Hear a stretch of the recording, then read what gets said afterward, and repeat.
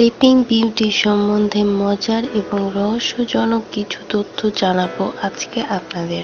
দু বছর বয়সের ফুটফুটে একটি মেয়ে নিউমোনিয়ায় আক্রান্ত হয়ে মারা যায়। মেয়েকে সারাক্ষণ বুকে আগলে রাখতেন তার বাবা, কিন্তু এভাবে মেয়ে চলে যাওয়া যেন মেনে নিতে পারেননি তিনি।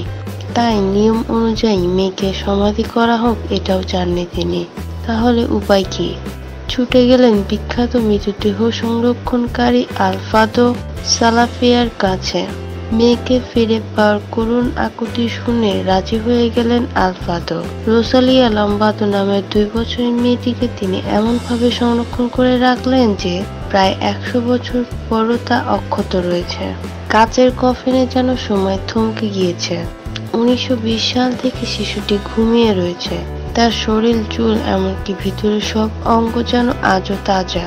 দুই হাজার নয় সালে রোসালিয়া লাম্বাদোকে নিয়ে হইচই পড়ে যায়। রহস্যজনকভাবে রোসালিয়া জেগে উঠেছে এই নিয়ে হইচই পড়ে যায় বিশ্বজুড়ে।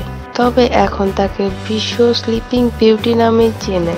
এরকম সব আপডেট নিউজ পেতে আমাদের সঙ্গে থাকুন এবং সাবস্ক্রাইব করতে ভুলবেন না আমাদের channel celebrity ফ্যাক্সে। Thanks for watching this video